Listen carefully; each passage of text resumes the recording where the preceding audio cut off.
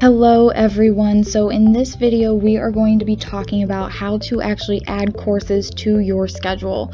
So with the 2019-2020 class schedule registration opening for everyone starting in a few weeks, um, this would be a perfect time to make sure you know how to do this.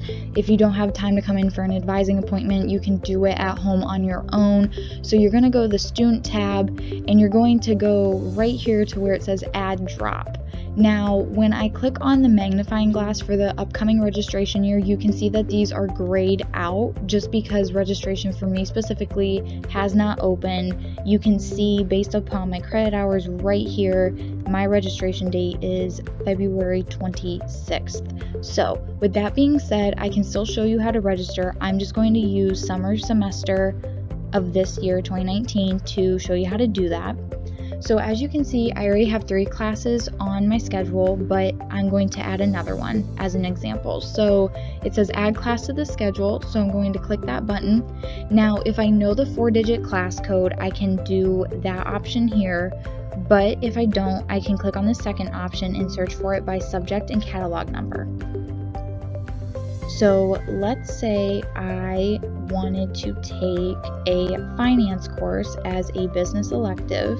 So I would scroll here to finance and I don't know which course yet, so I'm just going to hit continue and all of the finance courses that are available for this particular semester pop up here.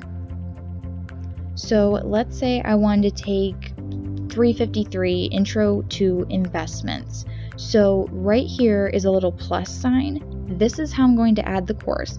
But here is the magnifying glass that tells me everything I need to know about the course. This is an online course. It tells me about the fee, it tells me about the prerequisite, which is Finance 351, and it tells me the course description. It tells me what week it's offered, which is really only a summer semester thing, so you won't really have to worry about that unless you're taking summer courses. But let's say I like what I'm seeing and I want to add this course, I'm going to hit this blue check mark or the blue plus sign, and I'm going to hit continue and I'm going to hit enroll now. And there you have it, right here on my schedule is summer 2019 listed finance 353. So, with that being said, I don't want to take Finance 353 this summer. So, let's say something happens and you decide you need to drop a class. Right here under the same tab, the Add Drop tab, you will see this drop bar. If you click on this, this is just telling you about your refunds um, with financial aid. If you go below a certain credit hour limit, um, your financial aid might be affected. But if you want to just drop a course and you know you're going to be fine, then you're just going to hit this drop now button. And you will see Finance 353 has now been taken off of my schedule.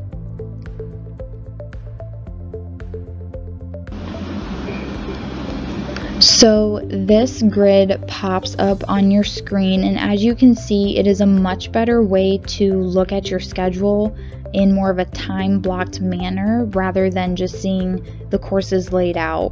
Um, so I highly encourage students to print this out and if you're taking any web courses those will be listed down here at the bottom but all your in-person classes will be listed here in this grid which is a super useful tool. So this is how you can add, drop, and actually view the courses that you schedule.